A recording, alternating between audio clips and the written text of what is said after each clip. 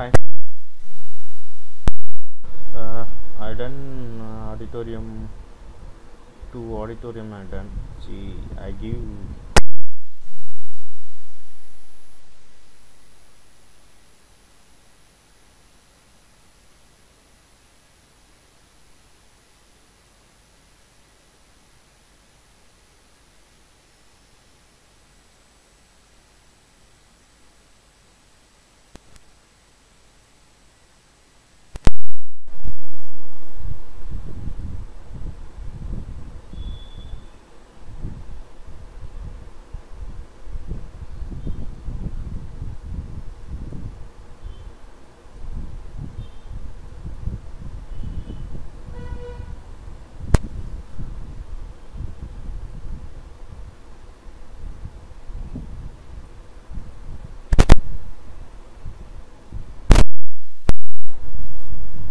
this auditorium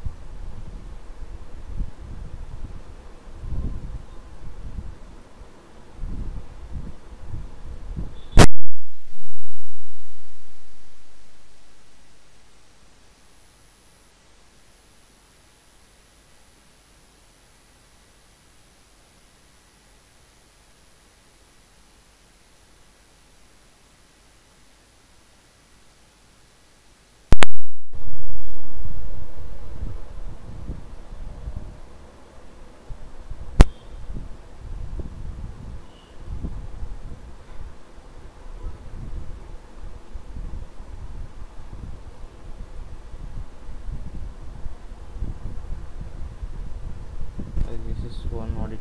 Uh,